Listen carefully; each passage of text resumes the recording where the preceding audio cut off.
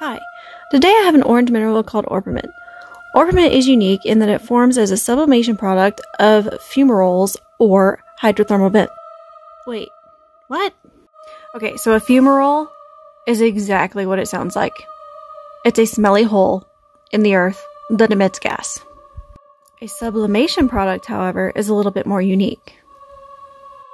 The sublimation process happens whenever gas comes out of a hole, but it's carrying minerals or elements, and as it meets the rest of the air after being in the earth for so long, it basically says, you know what, I'm going to drop these arsenic minerals right here, where I came out of the hole.